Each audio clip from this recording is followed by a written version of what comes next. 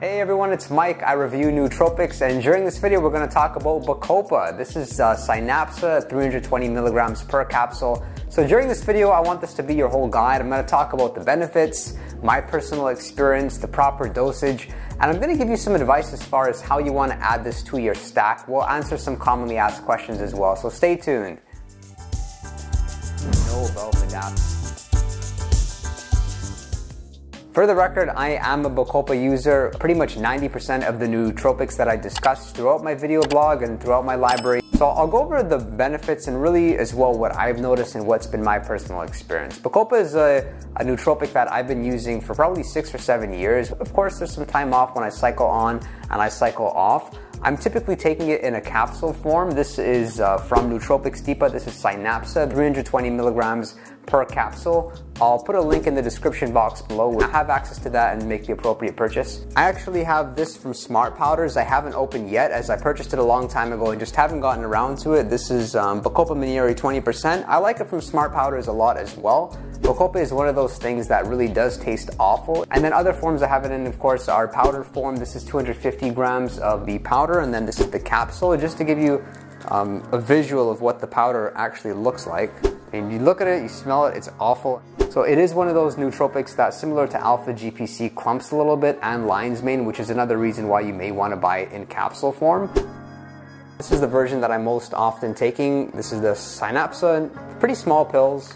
You can see like Here's the example of the size of a pill. It's pretty damn small. So if you were to ask me which one to purchase, I would definitely go through the Bacopa capsule form. Bacopa is one of the supplements where I've noticed that the brand, the vendor really does make a big difference. There are kinds of Bacopa which I've taken that have given me this awkward stimulating feeling, almost like a little bit of uncomfort, which then leads to anxiety and then leads to me just not being present. Whereas with this Bacopa, you know it's doing everything that you want it to do because the studies all show it's going to improve your memory, it's going to slightly improve your mood, it's going to help you with anxiety, and the brand that you get of Bacopa, you'll definitely notice working if all these things do happen to surface from your observations. So my personal dose is I take Bacopa twice per day, once in the early afternoon and then once in the late afternoon slash early evening, where, where I'm taking two capsules on each ingestion which means I'm taking 640 milligrams per each dose. And I like it a lot that way. This is a nootropic which I actually think is not beneficial to take in the morning. And one of the reasons why is it to some extent does help to fight off fatigue. So if it helps to fight off fatigue,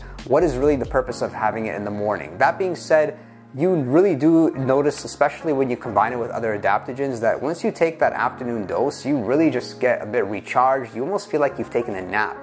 You feel refreshed, a little bit stimulated in the right way, like a natural jitter-free sort of stimulation. I notice I feel a little bit more present. So if I were to choose the best time of the day to take it, if there was one time, it would be right then in the early afternoon. Going over the benefits itself, and I'll talk about my experience. For any nootropic, which let's say has been around for an extended period of time, then there should be enough studies which show whether or not it is actually useful for the benefit that you intend to take it for. Bacopa, for example, most people notice the impact on memory, and that's what shows in the studies as well. However, it is shown that you do have to take it for at least three to four weeks. So don't judge it based on the acute effects and what you feel in a few hours. Really judge it based on what you have after a few weeks. And the problem I notice people have is they are not consistently putting it in a regimen and having it every single day. So whatever you can do just to make that habit easier, be maybe take it after you brush your teeth or take it in the afternoon after you go to the gym. Just make sure that you are taking it consistently so you can really evaluate. Otherwise, what? It's just a waste of money.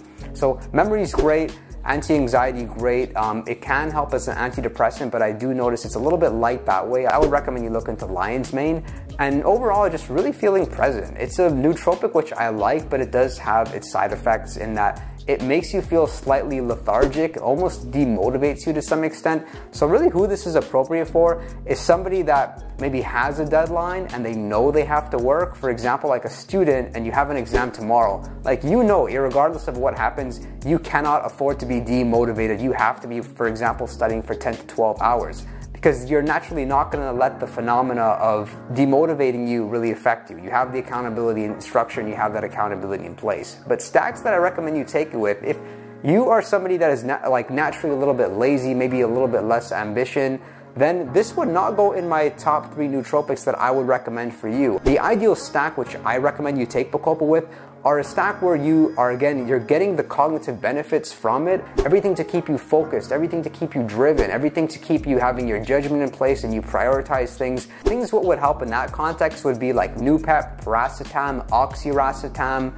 um, I like aniracetam as well, and of course a good choline source of alpha GPC. So this way you do have the best of both worlds and you don't really have to worry about the side effects because as you just browse across the internet, you'll notice again and again that people seem to complain about the effects of Bacopa on demotivation. Some people have issues with it with their sex drive. I don't notice that myself. I can really only say positives about it. If I did not have Bacopa in my stack, I would not be too bothered about it. If you were to take something else out like Piracetam or like Noopept, I would be more concerned about that because this, it helps my memory very, very significantly. If your mood's really good and you already have a decent memory, I mean, in the big picture of things, the other nootropics, in my opinion, can be more helpful. If I were to rate it, I'd rate it 8 out of 10 because the fact that I've been taking it for so long and consistently take it does, of course, speak for itself. But I do really notice that the side effects can be very severe for some people. Again, most of the studies show that it works after three to four weeks. However, it's been my experience that almost to some extent like an acute feeling. I just took a couple tabs of this before I shot the video